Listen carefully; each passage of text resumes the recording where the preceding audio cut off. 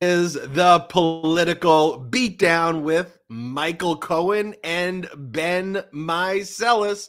On this episode, we're going to talk as much as he possibly can about Michael Cohen testifying before the criminal grand jury in Manhattan. This is the Manhattan District Attorney's criminal investigation of Donald Trump. Cohen testified on Monday. I believe he's got some other news of when he's set to testify. Again, we will talk more about that here on Political Beatdown. Uh, in response uh, to Cohen's testimony, Trump's lawyers have been non-stop attacking Michael Cohen. They've been I, I, don't know. Have they been? They, have been trying to show the world what their defense is going to be, if you could even call it that, where they go, no affair, it's extortion. So I want to see if we can get Cohen to respond as much as he can to those statements being made by those idiots. I mean, lawyers. We'll we'll talk more about that. Um, and Donald Trump just completely unhinged on his social media platform, posting these incredibly bizarre and deranged videos. He's like making videos of himself for the prosecutors or for his base. And he did this unhinged event in Iowa. This and more here on the political beatdown. Everyone wants to hear from you. Michael Cohen about recent developments, of course. So, welcome, Michael Cohen. It's, oh, it's always good to see you there, Ben. Always good to see you. You know what I love? Uh, you and I both today in the hoodies. You know, it's a little, I, you know, Ben, people don't know this, but Ben happens to be in New York. So we will get together. But New York's a little cold right now. You know, there's a little snow flurry and so and so. Everybody's running around in their um in their hoodies. Mine's nice and comfy. I happen to love it. So, all right, listen. Let me snow very- flurries outside, but things are heating up. Michael Cohen. Oh, thing, things are very things are very hot in New York City right now. Look, let me say this. Um, it's not news that I was in the grand jury uh, yesterday. They asked me to come back. In fact, it's not by ask, it's by subpoena. And so I am obligated, regardless of the fact I would have showed up anyway, but they treated me the same way they treated everybody else, and everything is via subpoena. So I'm going back in tomorrow. Uh, I expect it should be approximately as long as I spent the last time, which is a three hour time period. Uh, and that will be it for me. And then it'll be, of course, up to Alvin Bragg. It'll be up to this grand jury to make a determination whether or not they see fit to formally indict, which would be the very first time ever in U.S. history that a president has been or a former president has been indicted. Other than that, I, I really, at this point in time, I cannot discuss any of the topics of the issues or the questions that were asked of me. One of the things I feel I feel fine in terms of discussing is the ongoing nonsensical attacks by Trump counsel or whatever you, has been said, whatever you want to call these fools, and in regard to my credibility. This is all right out of the Donald J. Trump playbook. The same playbook that I told Jim Jordan when I was sitting before the House Oversight Committee. I know what you're doing.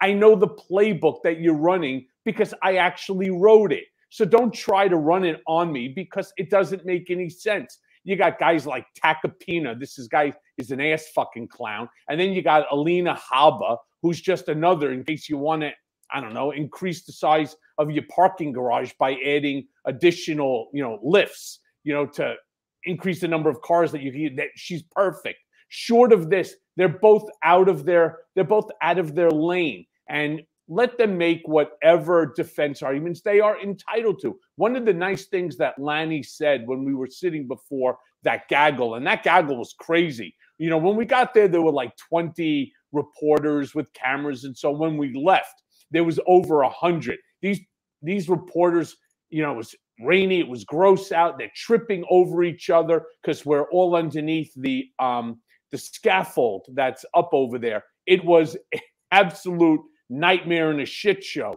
Suffice it to say, Lanny said the right thing.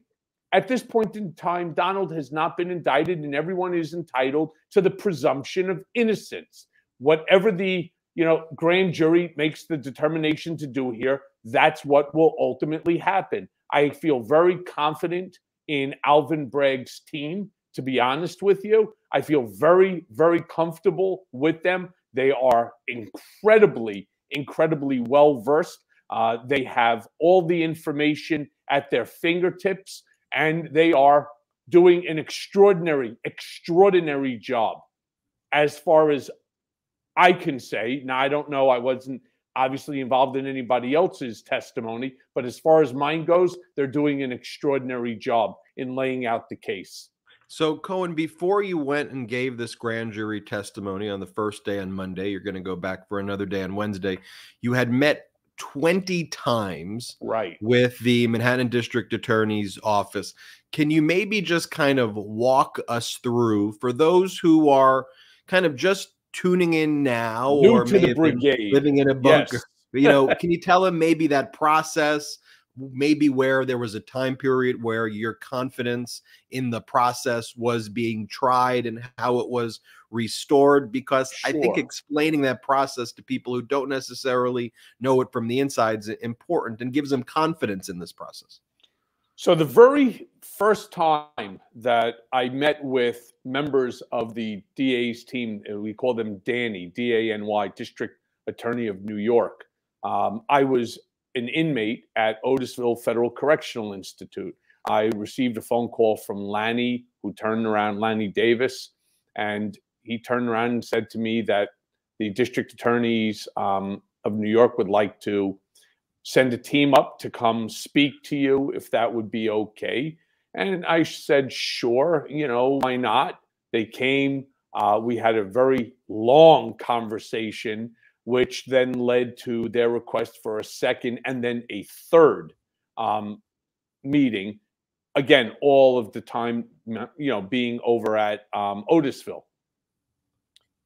Then, when I was ultimately released, and again, this would be subsequent to my unconstitutional remand, I then met with uh, Cyrus Vance's team that was led by Mark Pomerantz and Carey Dunne, two extraordinary attorneys.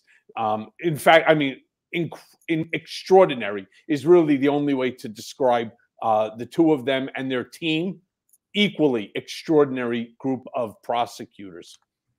I met with them 10 times over the course of about two years. Now, uh, um, Cyrus Vance makes a determination that he's not going to run for reelection, and enter the race is Alvin Bragg. Obviously, that's who wins the district attorney's seat. And at first, I heard absolutely nothing from them until ultimately a determination was made that they were putting the case on hold.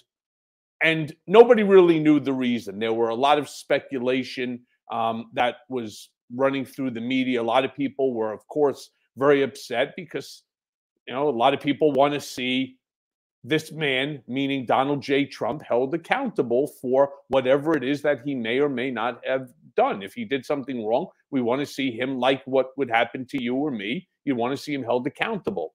Ultimately, what ends up happening uh, is Mark Pomerantz comes out with his book. He starts hitting the television.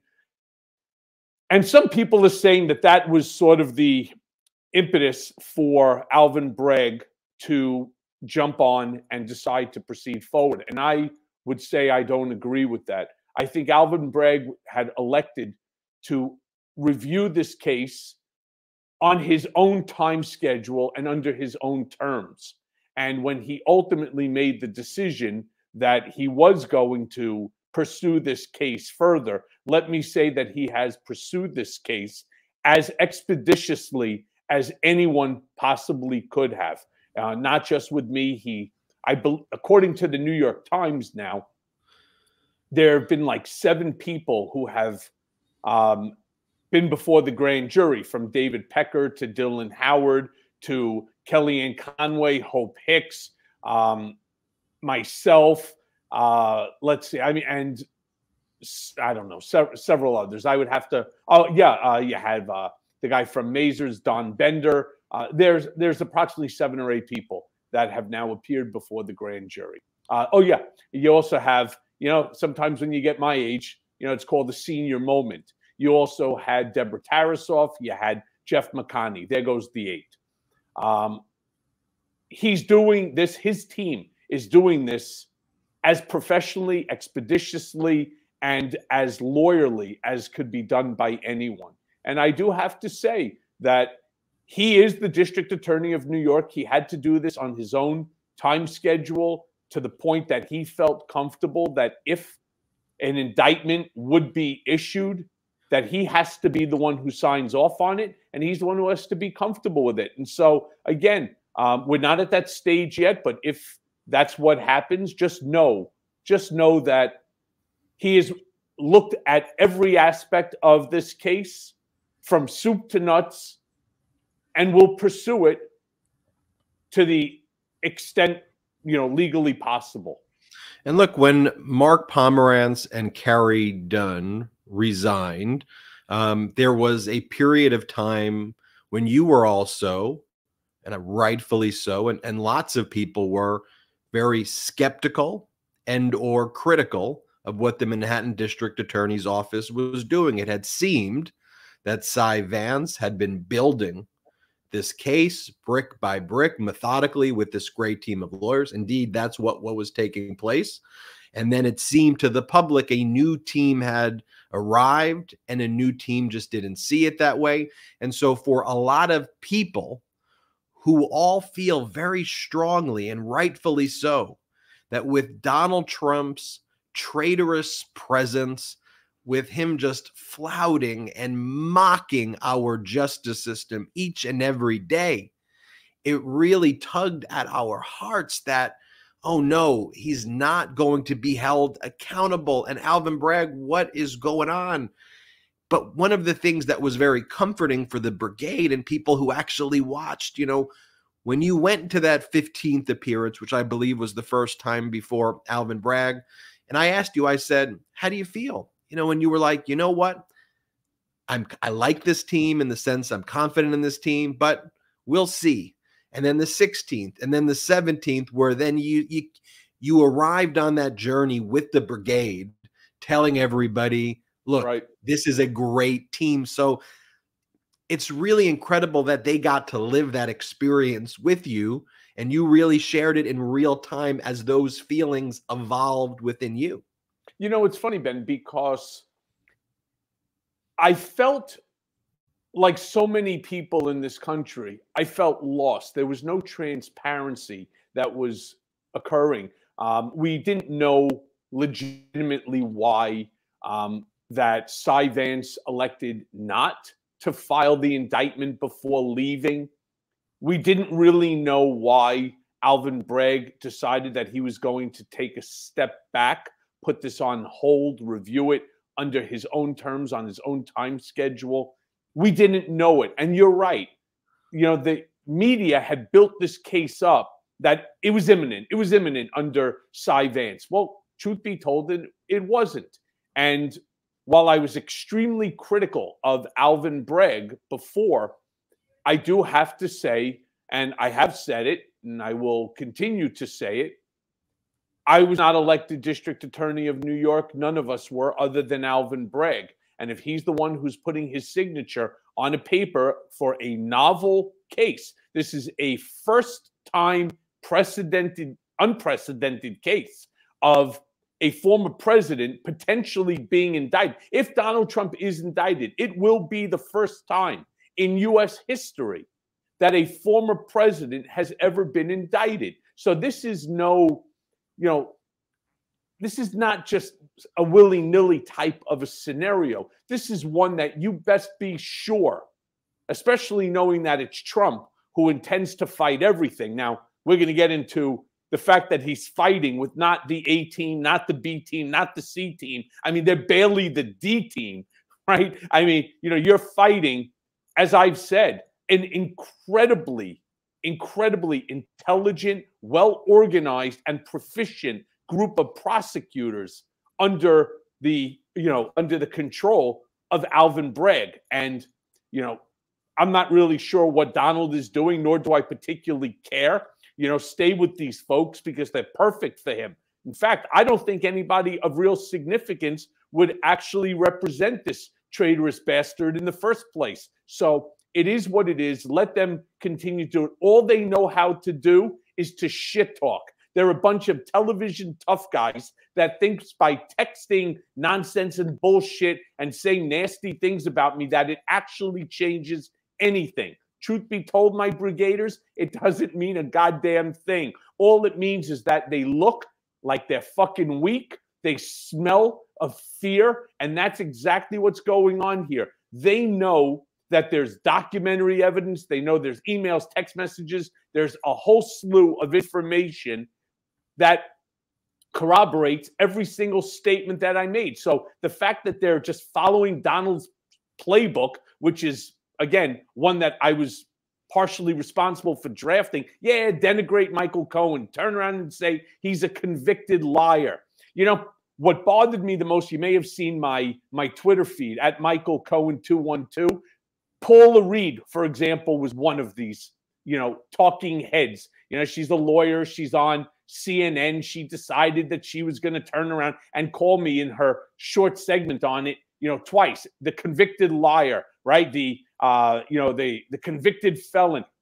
I mean, she sounds like she's Donald, right, with just worse laminates. I've never seen anything like it, especially coming from CNN. That's now you know gone right of center for whatever reason. Maybe they think they're going to pick off the Fox viewers that are sick of them. That's why you need to come to Meidas, right? That's why you need to come to the Meidas Network uh, the MeidasTouch Network and join us on things like Political Beatdown or Legal AF or the Meidas Brothers or any of the other shows because we we are exactly who we are. We're not here to play the game. Oh, you know, there's new people that are going to peel off of Fox because they're angry, you know, um, at you know at Fox for um, calling the Arizona election in Biden's favor because Biden actually won. And so let's see if we can't peel these folks off. They're going to lose both. They're losing their own CNN viewership. And worse than that, you know, they're not going to pick up any Fox people. So you got people like um, this Paul Reed who wants to sit there and attack me, convicted liar, convicted liar. The one thing that she doesn't do and she doesn't continue to talk about is what was that conviction even about? It's called the 1001 violation, which is um, a misstatement, a lie to Congress. Well, the big lie, as my brigaders probably already know, is the number of times that I told Congress that I had spoken to Donald about the failed real estate project known as Trump Tower Moscow. I stated in open, you know, in open session that I told Donald about it 3 times.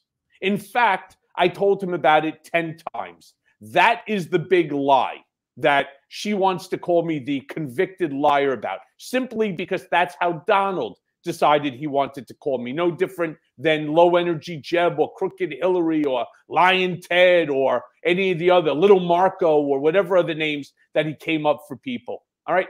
And for some unknown reason, so many of these pundits, these hosts, have decided, especially on the CNN channel, that they are going to use the same words. It's the same words that Joe Tacopina, who's a clown and a half, right? I mean, it, it, you got to look him up and you'll see exactly what I'm saying. He's a wannabe, you know, gangster lawyer that God knows where Trump found this guy in what back alley. It is an absolute joke. But putting all that aside, right? It's it doesn't inure to their benefit because no different than when I testified live before the House Oversight Committee if you come with the documents, you come with the receipts. You don't need any more for anyone to believe anything that I say. All right. You don't need to. Why? Because it's backed up by documentary evidence. It's backed up by corroborating testimony, not just by, and Ben, you you were one of the first people who actually brought this out to the attention of our brigaders. The Southern District of New York actually put it in their statement about me that Donald Trump directed me to make these payments. It's in the Southern District's documents. So at the end of the who's who's DOJ? Whose DOJ was it? It's Donald's DOJ, right? They could go with whatever defense they're going to try to cook up the Melania defense, the I'm an idiot defense, right? I have a mushroom pecker that doesn't work defense. I have no fucking clue what defense this idiot wants to go with, but whatever it is, I'm ready. the, the, the, defense appears to be no affair, no affair, horse face, no affair, extortion. Which by the way, by the way, I, by the way, it's so ridiculous. By the way, again, it goes right back to his denigrating then of you know of women. This is that sexist, misogynist you know um, aspect of Donald Trump. What if hypothetically she's gorgeous. Does that make it any different than if a person in Donald's eyes is not beautiful? First of all, I think Stormy is absolutely a wonderful. She's a wonderful woman. She's she's pretty. Um, she's smart, right? So he has to go ahead and he has to denigrate her for what reason? Because it makes him and his base feel better. And what does that do? It helps him to grift off of these morons so that they send him money for the legal fund. This is the biggest joke of them all when I was watching Paula Reid, and, and, we'll we'll play it in a moment. You know, you mentioned, you know, reminds you of Trump. It, it, did. It reminded me of Trump. It reminded me of Laura Ingraham. It reminded me of Fox, and it's really sad to see overwhelmingly CNN becoming Fox Light. I mean, you compare that to the MeidasTouch network here, and it's like, okay, when we're not doing the political beatdown with an actual witness before the grand jury and someone who's gone now 20 times before uh, the. Manhattan District Attorney. Who's our other guest? We had Alvin Bragg actually on the show. Karen Friedman Agnifilo, who hosts the legal show, Legal AF, she was the number two deputy in the entire Manhattan District Attorney's Office. She was Cy Vance's number two, and she basically ran the office, giving you those perspectives. And the problem, and you pointed this out earlier, Cohen, is these media narratives that feed people this disinformation really creates a situation of kind of chaos and and panic and lies that allow for somebody like a Donald Trump to emerge. And oftentimes while these media networks will say oh we we ignore Donald Trump and and, and that's why we don't cover him. No you don't. You know, you, you, you do cover him. Here, I'll just pull this up, and I want to talk about this later um, in the show. But this was headline from the Associated Press. Um, Donald Trump went to Iowa. He gave this completely unhinged, like crazy speech. Like literally, it, it seems it was it was this like QAnon conspiracy theory thing. And the headline is Trump returns to Iowa aiming for a more disciplined campaign. That's what the Associated Press is talking about, which feeds to all of the outlets. And Cohen, to your point, we'll pull up the video now of, of Paula Reid. And this is what Paula Reid says on CNN. And it's basically pro Trump propaganda, it's, like it's cheering just inaccurate. On. It's just not true. That's the whole thing. So, yeah, let's let Salty, let's go to the video. to consider his options after being invited to appear next week before a Manhattan grand jury. The panel is investigating his alleged role in a hush money payment scheme involving adult film star Stormy Daniels. That invitation is a sign that a decision on indicting Trump is probably next. Joining us now, defense attorney and former federal prosecutor, Shan Wu. Shan, you're the perfect person to talk about this with. I want to start out by talking about the timeline. This investigation has been going on for five years. Suddenly, over the past several weeks, we've seen this uptick in activity in this grand jury. Do we have any idea why now? Uh, no. uh, one could speculate that there's some public criticism of uh, Bragg after uh, Mark Pomerantz had published his book.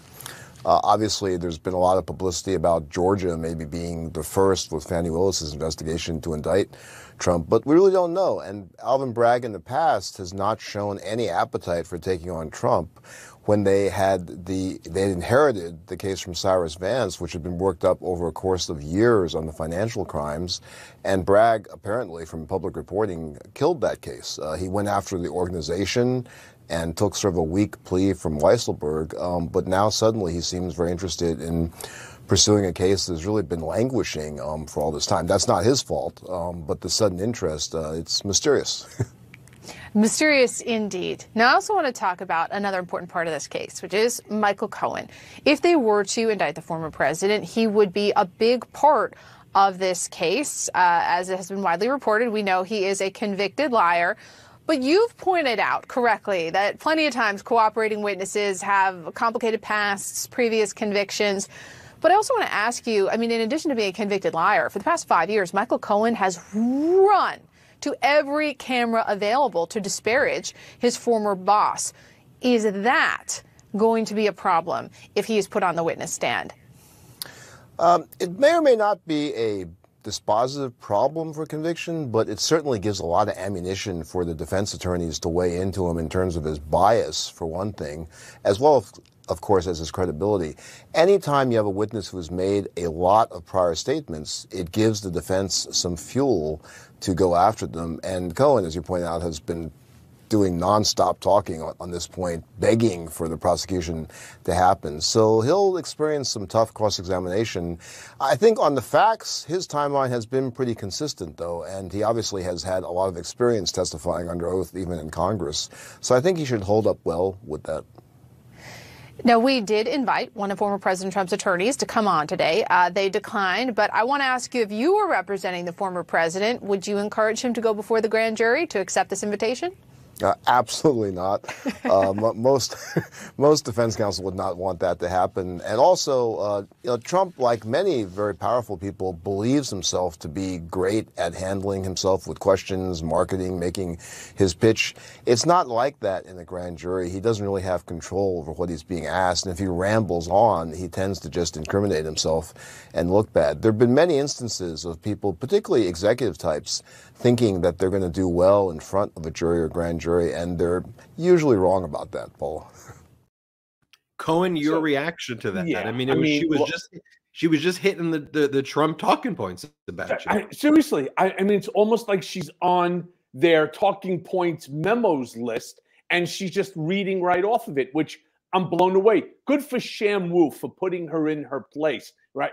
It's amazing to me that she knows nothing about this case. She knows nothing about my case. And yet she's speaking with authority as the host of a show. And to me, saying, I'm running to every single camera. Do you know why I'm doing that? You know why I'm doing that, Ben? I'm doing it so that there's finally accountability, so that I can express to people that Donald Trump weaponized the United States Department of Justice to go against his critic, meaning me. It's my book Revenge. But better than even that, Dan Goldman now, the third member of Congress to speak with Jim Jordan at the subcommittee on government weaponization and calling it out.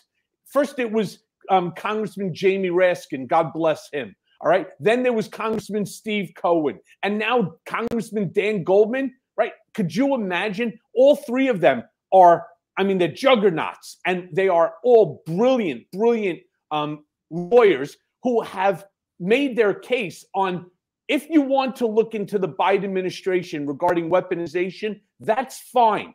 It's okay to look at today, but you can't forget about yesterday if you're going to proceed forward. She doesn't understand this, right? She doesn't understand anything about the case, but she just wants to read off the Trump talking points. So good for her.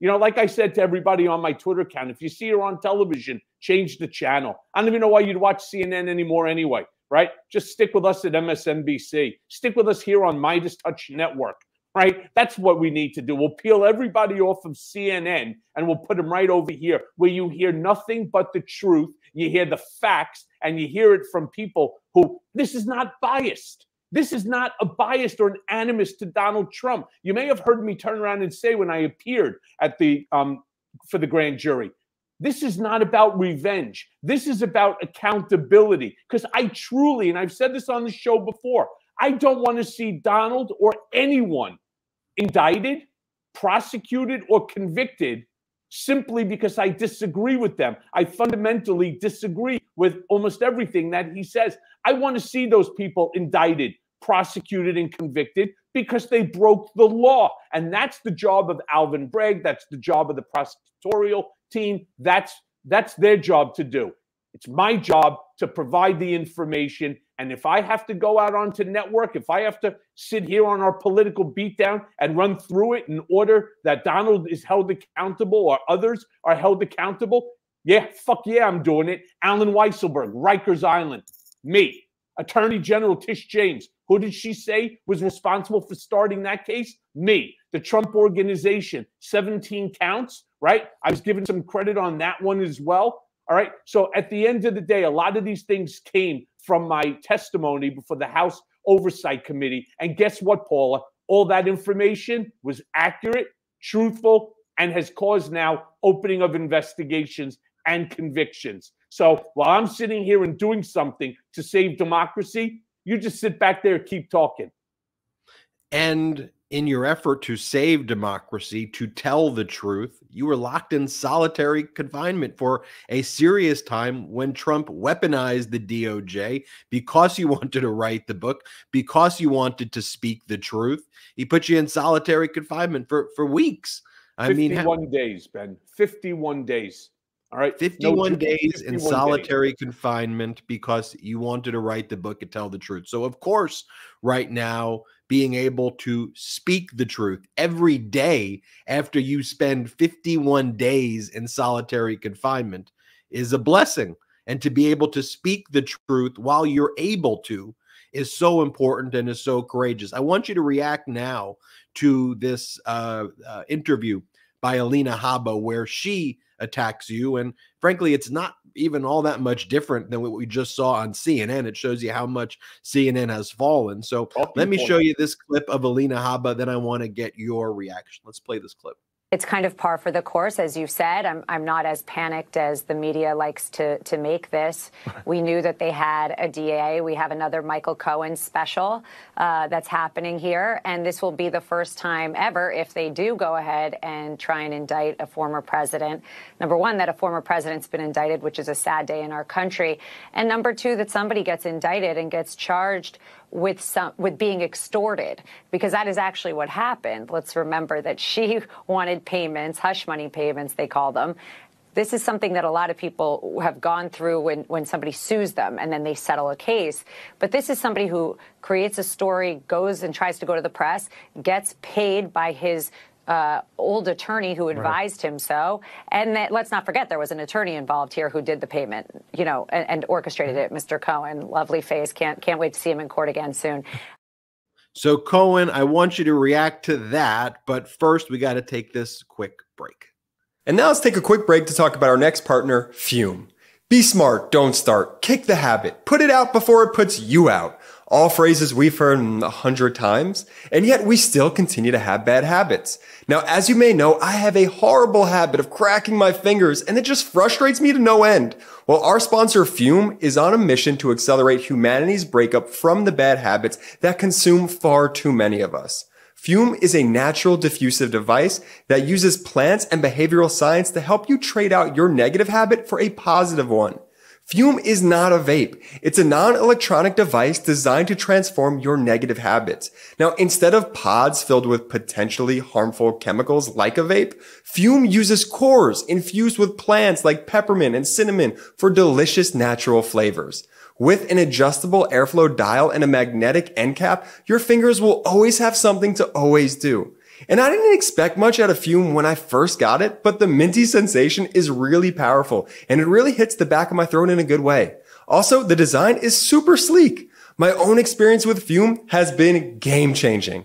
The easiest way to stop a bad habit is to switch to a positive one, and Fum is designed perfectly to do just that. It's Fum's goal to make switching easy and even enjoyable. They have thousands of five star reviews from people just like you who've successfully switched when other solutions just didn't work. Head to tryfum.com and use code BEAT to save 10% off when you get the Journey Pack today. The Journey Pack comes with three unique flavors and the new version 2 Fum to help you kickstart your positive habits. That's tryfum.com and use code BEAT to save an additional 10% off on your order today. And now back to the video. All right, Cohen, I got to show you this Alina Habba video one more time just to remind our viewers and listeners just how reprehensible and, and idiotic and just strange Alina Habba and Trump's legal team is. Here, play this clip, then I want your reaction. It's kind of par for the course, as you said. I'm, I'm not as panicked as the media likes to, to make this. We knew that they had a DA. We have another Michael Cohen special uh, that's happening here. And this will be the first time ever, if they do go ahead and try and indict a former president. Number one, that a former president's been indicted, which is a sad day in our country. And number two, that somebody gets indicted and gets charged with some with being extorted because that is actually what happened. Let's remember that she wanted payments, hush money payments they call them. This is something that a lot of people have gone through when, when somebody sues them and then they settle a case. But this is somebody who creates a story, goes and tries to go to the press, gets paid by his uh, old attorney who advised right. him so. And that, let's not forget there was an attorney involved here who did the payment, you know, and, and orchestrated it. Mr. Cohen, lovely face. Can't can't wait to see him in court again soon. Michael Cohen. Yeah. So I think something that Alina seems to be forgetting, and I want to remind all of our brigaders. Um, not more than about six weeks ago, Florida-based federal judge has ordered nearly one million in sanctions against Donald Trump and his attorney Alina Habba calling the former president a mastermind of strategic abuse of judicial process. In a blistering 46-page order, U.S. District Court Judge Donald Middlebrooks said Trump's sprawling lawsuit against Hillary Clinton and dozens of former Justice Department and FBI officials was an almost cartoonish abuse of the legal system. Here, and this is the quote here, we are confronted with a lawsuit that should never have been filed, which was completely frivolous, both factually and legally, and which was brought in bad faith for an improper purpose. Now, I also want to remind people in the case in a case that I was suing, uh, that I am still suing Donald Trump uh, for one of the craziest things, Alina Habba does a motion um, in order to to dismiss the case, and she actually signs the motion as if she's the judge. I mean, this is really a legal beagle, you know. And by the way, you saw also the videos of Stormy Daniels. Stormy Daniels is a nice looking woman. All right. The fact that he could even turn around and say it really bothers me that this is what he thinks his base wants to hear. Maybe it is. I don't know. But whatever it is, he's fucking disgusting himself. He's sexist and misogynistic. And you know what? Look, Alina Habba could say whatever she wants. I'm not scared. Of course, you're not scared, Frank, I'd like to see Donald make that payment of the million dollars on your behalf. Don't be shocked if he makes you pay half of it, right? Because that's just who he is. And believe me, he's not worried about losing you either. You're no legal genius. So, you know, it'd just be one additional member off the D team. So have a good day, right? Look at the other lawyers that have gotten fucked as a direct result of Donald. You have, uh, I mean, Eastman. You got Eastman. you Julian. had um, Bobb, uh, Christina Bobb. You have, um, what do you call? Me. You have Giuliani. Uh, I mean, how many more? How many more lawyers do you think need to end up getting screwed? I think there's over a dozen lawyers that have now fallen into that Donald Trump, uh, even Alina Habba. I mean, you are now on the record by a judge saying that your motions, that your complaint were frivolous, cartoonish, is what he turned around and called you a cartoon. So before you want to sit there and attack me on truth, holding truth to power to ensure that our democracy continues, that our Constitution prevails, and that the biggest fear that our forefathers had is that there would ultimately one day be a president. 44 presidents didn't think this way until we got to number 45 that you don't want to be the president of the United States. You don't want to be there looking out for all Americans, that you want to be a king, a supreme leader, a monarch, a Fuhrer. That's what he wants to be. And not while we're around, Ben. Not while political beatdown is up. Not while we got the MeidasTouch network. Not while I'm still breathing. I'm telling you right off the bat, we will continue to hold truth to power every single day.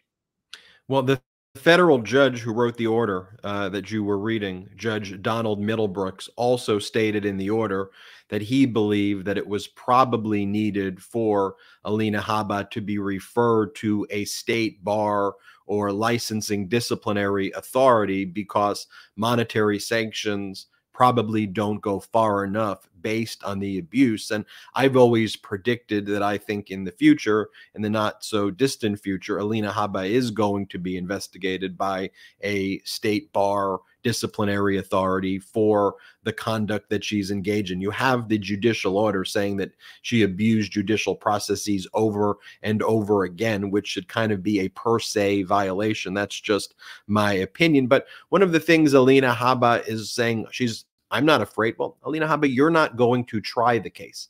You, are not a right. trial lawyer. You're not. You're not gonna. He, he doesn't put you in to actually do the oral arguments because you're that bad that you can't. So you go on TV, you spread the disinformation. But we did get a glimpse of who apparently is going to be the trial oh, lawyer, Joe let's, Let's, go. let's show this one, Ben. Joe let's, Tacopina is go. going to be the trial lawyer. um, should we start off with Good Morning America and George Stephanopoulos, or Absolutely. should we go to Let's start, let's start there, and then George. later on he then goes to attack you. But first, let's just start with uh, George Stephanopoulos, who goes to Tacopina, Trump's actual trial lawyer. This is going to be the person who's the one. It's more like it's more like let's go to let's go to George Stephanopoulos schooling Tacopina. Let's and play there the are three questions, simple yes/no questions mm. at the heart of the case. I want to put them up on the board right there. Number one did Trump authorize the payment to Stormy, to Stormy Daniels? Number two, was the payment properly recorded? And number three, was it connected to the election? So let's take all three of them in turn. Number one, did Trump authorize the payment to Stormy Daniels? First of all, all we need to do is start and end with number three because it's not. Let's answer number one not, first. It's not directly related. Did Trump it's, authorize it's, the payment? It's not directly related. Did Trump authorize George, the payment? It's not directly related to the campaign. We'll, we'll, it's regardless. We're going to get to that. Uh, uh, well, let's assume he did. For the argument, He's for this argument, admitted let's that he did. So the answer assume, to that is yes. Let's assume he did. Okay. This was a plain extortion. And I don't know since when we've decided to start prosecuting extortion victims. Um, he's denied, vehemently denied this affair. But he had to pay money because there was going to be uh, an allegation that was going to be publicly embarrassing to him. The vehemently denied the affair part, which, by the way, he did have 1.5 seconds of sex with her, but maybe that doesn't constitute an affair. But that has maybe nothing, not in Tacopina. Yeah, that has nothing to do with eyes. It has nothing to do with the with the GoCo. It has nothing to do with the crime. I mean, how about this attack Capina, right? So Stephanopoulos says, let's start with one. And what he's doing, this guy is this guy, Marble Mouth, is going to do wonderful when he's up against the United States government, when he's up against against district attorneys and and career prosecutors. He's a, uh, why, why we start uh, uh, since when are we prosecuting? When when, when do we prosecute uh, ex- people who get extortion? And what? Seriously? It's, I mean, know the facts before you go on television, especially when you're dealing with someone like George Stephanopoulos. The guy is a the guy is a consummate pro. He knows the facts. The guy's a Rhodes Scholar, you idiot. All right. He's a Rhodes Scholar who knows all the facts. And he had time to prepare, as of course did Tacopina, who decides he's not going to prepare. He's going to come in. See, that's the problem. All of these folks that are now surrounded by Trump, they're basically television tough guys. They go on there spewing what Donald wants to hear. You See, they don't care about facts. They're only playing to a party of one because they think that that party of one is going to actually pay them down the road, which rest assured he's not going to, right? Especially not for this kind of work. And when when he loses, he doesn't feel he should pay either. So look, um, I hope Tacopina takes his money in advance. You know, maybe he could get himself some speech elocution lessons, or you know, maybe I don't know, maybe a towel to wipe off the sweat. He looks like he's sweating something fierce. Oh, and, and then George Stephanopoulos goes, okay, you, you, you, totally bombed point one. Okay, let's go to point two. Was it a uh, entered into the business records falsely? Play this clip. Was it properly noted in the Trump Organization records, or was a false record made saying this was legal representation? There was absolutely no false records made. To my knowledge, there was no false records made. To your knowledge. Correct, so you're not sure. Well, I, I wasn't there at the time, but my understanding of these facts is clearly there was no false record but made. you would you would acknowledge that if a false record was made, that is a crime, a misdemeanor, correct? no, I wouldn't acknowledge that any false record made in a private No, banking if it were record. made, it is a it is a crime. It's a misdemeanor. It depends in what context. That's like a really rough. It's, cringy to watch. Oh boy, and this guy passed the bar exam. Amazing. I mean, look. It is. It's not. It is. It's not. You know, it's not. I mean, I mean, seriously, th- this guy's going to do great. This guy's going to do great.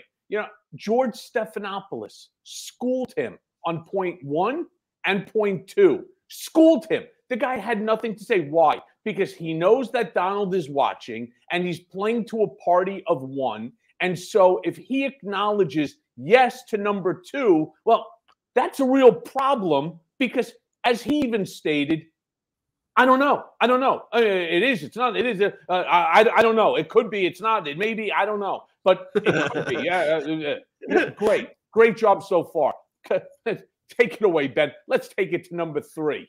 Well, well, well. Number three, I, I got too cringed out over that whole thing. But then he, here's the point that he hits on Fox, where he tries to hit on number three, and this is the thing. Fox just gives him the softball. So I, I let's just assume I feel bad for. I don't feel bad for, but Stephanopoulos crushed him.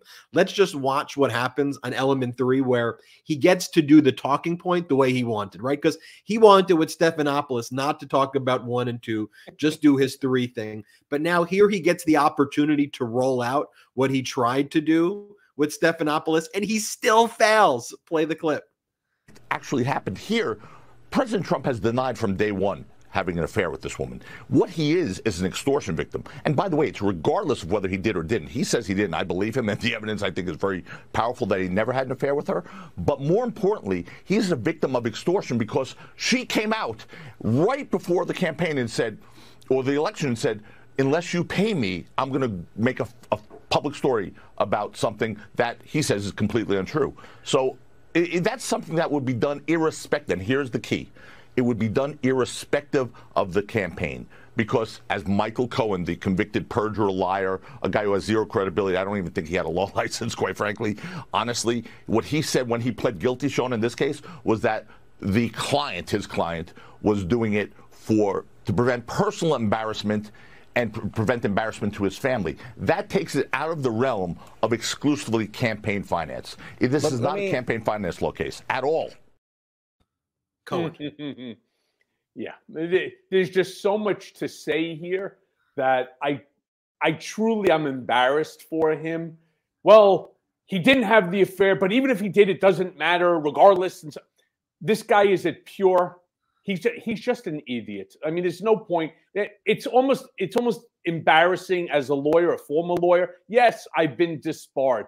Yes, I did pass the bar. In fact, you fool, I happen to have been the personal attorney to your former client, right? Or to your current client, my former client. So, yes, I was a lawyer. Yes, I made certain mistakes. I sure did. All right. But at the end of the day, he's making them every time he opens his mouth. He has no knowledge of anything. And yes, you can go on Fox News and bullshit the people who want to be lied to. We saw that with fucker Carlson. We saw that with Hannity and Ingraham. They just lie to their viewers day in and day out, and they don't give a shit about you know about the lie because their people suck up that lie. Yeah, Donald didn't sleep with her. He's being extorted. Fuck this, right? Cohen's no good. He's a convicted liar, right? He's a perjurer. He's, you know, he should have known. All of these arguments fail and they fail miserably on their face. They're not predicated in fact, they're not predicated in law. They're just predicated on, again, appeasing a party of one. And appeasing Donald Trump is not a defense to a case. And look, we expect that from Fox, right? You know, unfortunately, when CNN's view of their business model is we need to look more like Fox is just a complete misread. It is a complete betrayal. But frankly, here at the MeidasTouch Network, I say, good, bring it on. I'm getting all their viewers. Cohen, they're coming, they're political beatdown viewers. So, so keep doing that, I guess, CNN. Could you imagine that you have sitting at a table talking about this? You have Donald, Don Jr., and Tacopina, right? So here we go. So you got, I don't know what they're saying. Quite frankly, I wouldn't sleep with Horseface. I, I, I don't like her. She don't like me. I didn't do it. And so my dad says I didn't do anything. Case over. We won. Yeah, go, go, on GMA. Go on Good Morning America. Go. You got your. You got. You got. Could your, you imagine this? Where's Saturday Night Live when we need them? I mean, this is just classic great shit. I mean, this is just, and then you'll have Kimberly, you know, Gargoyle sitting back there, right? And all of a sudden she'll be like, the best is yet to come, right? And all of a sudden you'll see Donald walk out in his tidy whities. I mean, this is just absolute, this is great fodder for something like Saturday Night Live. It is an absolute joke. It is a shit show, but it's sad. It's like, it's, it's like what they call a train wreck, right? You can't drive past the car crash or the train wreck without looking, without being mesmerized. Every day, there's more and more stupidity coming out of that group, and we're just we've almost become like a you know a, um, a reality show nation where this is a reality show. And if this was on like a Bravo station, it would be the number one show on television ever because you can't not watch it it's that fucking ridiculous. And the players that are there are more ridiculous than even the person that they're supposed to be representing, which is hard to imagine. You know, and, and that's why, though, when we cover what's taking place, I'm not afraid, you're not afraid here at the network to cover what is going on with Donald Trump. It's how you cover it to me is the key. And the moment you start normalizing that behavior and you treat it like normal political conduct and discourse, to me, you're doing the same danger, frankly, as what Fox is doing. So earlier in the show, for example, we showed this Associated Press headline. Um, and I'll show you Trump returns to Iowa aiming for more disciplined campaign. I don't know if we have any of the text from this article, but it goes on to basically treat this thing like like it's like it's normal, right? As Trump returns to Iowa on Monday, he and his team are aiming for a more disciplined approach. They're particularly focused on building the building the data and digital engagement that he's going to persuade Iowans. And then it goes through his swing state tour through the eastern city of Davenport. It marks his first appearance. Then it goes on. Trump on Monday is going to deliver what has been billed as an education policy speech, but he's expected to touch more broadly on his accomplishments as president and his agenda for another term, including trade policies and agriculture, according to a person familiar with his plans who spoke on a condition of anonymity to preview his remarks. Like, to me, in many ways, that is just equally journalistic malpractice to put that as an Associated Press story. As Tucker, as Ingraham, as Hannity, as any of the things that we've seen at Fox because it normalizes it. Like we want to see what really went down in Iowa. We want to see if this is this is normal. This is Trump from Iowa saying that he wants to get rid of the woke. Here, play this clip. If we have the clip, we'll get the clip. Um, let's play something. Let, us play some of the. Well, let me show you the clip from CPAC, though, at least, where this is what he talks about when they want to make it look like this is a normal party. This is him talking about uh, uh, Stormy Daniels and the case against them. Play this clip. To bring charges against me for now ancient, no affair story of Stormy Horseface Daniels, no attraction. No affair. I call it no affair where there's no crime anyway. And, and, here's another one where him talking about, and I think we have this one, Salt. You know what's really saying, said there, Ben, before we go to the next clip? What's really said there is that this asshole thinks that you can disparage a woman in such a grotesque manner and do it in a public setting the way that he did. And what makes it equally, if not more gross, the fact that fucking people are laughing and clapping this moron on for something like that. You know, it's it's despicable behavior. And it's exactly why nobody showed up to CPAC anyway. He was talking to empty chairs. And and speaking about talking to empty chairs at CPAC, here's the other thing he said addressing the criminal investigation. While he says he's really good at words, right? I know I'm the best with words, whatever that means. He goes, I've never heard of the word subpoena before. That's part of his defense as well. That these are new words to him. Here, play this clip. Oh, amazing. What the hell did you get me into? I didn't know the word subpoena. I didn't know the word grand jury, those words, grand jury. I didn't know that they want to lynch you for doing nothing wrong. I didn't know they want to lynch you for doing a great job. I didn't know they want to put you away because your poll numbers are better than anybody they've seen in years. And I'll just show you another one. This is from Iowa. This is what the AP was like. This is the discipline speech. This is what he talks about with with woke or whatever. Play this clip. Together, we will end the era of weaponized government forever. We will end woke. We will crush the deep state. We will. He doesn't even know what the word woke means. That's the funny thing. His understanding of the word is exactly opposite. He doesn't understand that it's an African American vernacular that really talks about um, it's it's understanding prejudice and discrimination. He has no idea what it's about. He, I mean, it's it's incredible that somebody is ignorant as this orange crusted Mandarin Mussolini can go ahead and get out there and literally have won an election to be the president of the United States of America. He is by far the dumbest president that this country has ever had and will ever have. And and, crazy. it's it really is. And and here's from the same Iowa speech that uh, Associated Press was saying discipline, discipline. This is Trump saying that uh, he- he's attacking DeSantis, which, by the way, let them attack each other. Let these two wannabe fascists attack each other, who was a disciple of Paul Ryan, the former Republican Speaker of the House. And then he goes and calls Paul Ryan a loser. Then I want to make the broader point here about what's become of the Republican Party, I think is is is an important point that we need to close the show out with because it goes to this systemic uh, corrosion of our politics. Here, just play this clip first, though. We're leaving the age where.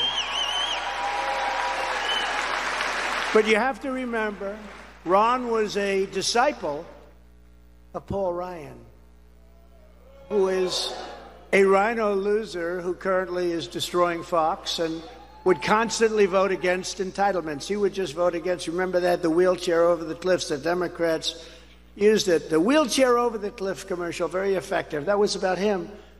But Ryan, Paul Ryan's a big reason that Mitt Romney, I'm not a big fan of Mitt Romney, lost his election. And to be honest with you, Ron reminds me a lot of Mitt Romney. So I don't think you're going to be doing so well here, but we're going to find out. But those are the facts. But I'm proud to say the final number. So, what do you have to do now to become a Republican in 2023? Like, like what does that actually mean? Well, this comes from the official GOP account as we are recording this live. This is what the GOP just put out. They wrote, first it was gas cars, then gas stoves. Now, Democrats are looking at going after washing machines. The left wants us to make us lock down at home, eat bugs, and wash our clothes in the river, all in the name of climate. And look, Paul Ryan is a loser, though, because he didn't stand up to Donald Trump. In fact, he enabled this to happen where you now have a Republican Party. And by the way, in a multi party system where there's vigorous discourse and debate about real issues, serious issues, I welcome that. I want there you to know, be Ben, I got to tell you, I don't want to see. Yeah, I don't want to see Donald eating bugs. Uh, on behalf of all the brigaders, and I know they're going to agree with me, you as well. We all want him to eat shit. I, I I I couldn't agree more. And then when you read that though, when you see that you know we're talking about here justice, we're talking about here jobs, we're talking about healthcare, we're talking about education, we're talking about our veterans, we're talking about make sure a woman can control her own body, we're talking about equal rights. We're talking Gun about control. We're talking about we're talking about the things that really matter. Do you not want to leave an earth for your grandkids, your great grandkids, and future generations? You know, the number one killer of children today. No, not cancer, not car accidents, gun violence, right? But sensible gun legislation off the table. Climate off the table, right? Let's roll back a couple more ideas, Donald, right? So that you have, you know, loose legislation so, or loose regulations so that you can have more of these derailments, you know, going on and polluting the earth. He's so stupid. He has no idea. Let's get rid of the, you know, the FDA. Let's get rid of the EPA. Let's get rid of everything. I mean, Let's get rid of Dodd Frank. Let's get rid of the regulations on banks that were enacted due to banking crises. And Yeah. let's then allow SVB to happen. And then when Silicon Valley Bank happens, let's go. It's the woke. It's the woke. No, it's it's it's the woke Joe Biden and it's the woke Joe Biden and Hunter. It's all about Hunter. Okay, end, of story. Ah, I think people are I think people are starting to that 65% of people who are repulsed by Trump, I think that's growing and I think it's just important that we continue the work we're doing here on the political beatdown and all the brigade who watches this spread these messages of justice, of hope, of compassion, of intelligence, of data. That is so critical right now and we are so grateful to all of the brigade out there because this isn't just a uh, we do a podcast and, and people watch. This is an interactive community in the brigade where we are in this together and all of you watching and listening to this are just as critical to us who are on this podcast and we are so grateful for each and every one of you cohen I know you are heading tomorrow again into the uh, to testify before the grand jury. Um, do you have any final words generally on today's episode to the brigade? no, other than just stay tuned. Join us on Thursday. Tell your friends. Join the brigade. Let them know. You know we are doing interestingly enough better than CNN, right, in terms of overall viewership numbers. And so as we continue to grow, our next move is going to be to put some uh, event on where we will let you know exactly where we are, what we're doing, and looking forward to having an opportunity to meeting each and every one of you. Cohen, you give me hope, you make me laugh, you give me courage, and um, just so I have so much fun hosting this with you and spending this time with you and all of the brigade. Thank you for watching. Make sure, just do me one favor, make sure that you read Revenge. The single most important thing I ask you to do. Read Revenge. You will understand the journey that's gotten me to where I am. You'll understand the weaponization by Donald Trump and Bill Barr of the Justice Department and what can happen to you. It's so important. It's probably the most important read that you will have in 2023. And make sure that you follow me on social media and watch and listen to Mea Culpa podcast. You'll get more of this. But make sure, most importantly, you're back here on Thursday for me and Ben. We also have the audio podcast here at Political Beatdown. So not only subscribe to the YouTube channel, subscribe to Political Beatdown audio, subscribe to the Mea Culpa audio podcast as well to get your full dose of Michael Cohen. Make sure you listen to that all. Yeah. And we'll see you here on Thursday on the Political Beatdown. I'm Ben Meiselas, joined by Michael Cohen. Shout out to the Meidas Mighty.